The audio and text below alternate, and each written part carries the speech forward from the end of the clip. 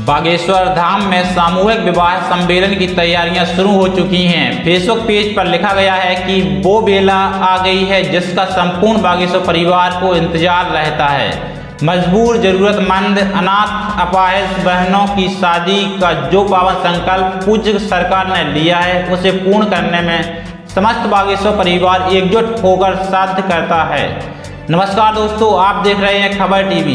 दरअसल आप सभी लोग समझ ही गए होंगे कि हम आज किस बारे में चर्चा करने वाले हैं। बागेश्वर धाम सरकार के ऑफिशियल फेसबुक पेज पर कल एक बहुत ही महत्वपूर्ण जानकारी दी गई, जिसमें बागेश्वर धाम में होने वाले एक सौ इक्यावन कन्या विवाह महोत्सव 2024 की शुरुआत हो चुकी है। बागेश्वर धाम के ऑफिशियल फेसबुक पेज पर कल जानकारी दी गई कि एक दिसंबर से 15 दिसंबर के बीच रजिस्ट्रेशन की प्रक्रिया जारी रहेगी।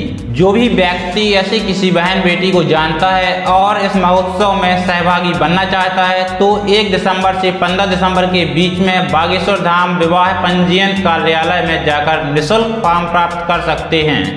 और इससे ज़्यादा जानकारी के लिए नीचे दिए गए नंबरों पर संपर्क करें। पिछली बार ये विवाह समारोह बहुत ही धूमधाम से मनाया गया था।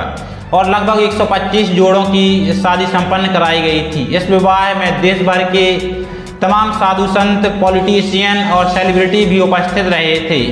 तो आप लोग इस वीडियो को ज़्यादा से ज़्यादा लोगों तक पहुँचाएँ ताकि यह जानकारी ज़्यादा से ज़्यादा लोगों तक पहुँच सके। देखते रहिए खबर टीवी।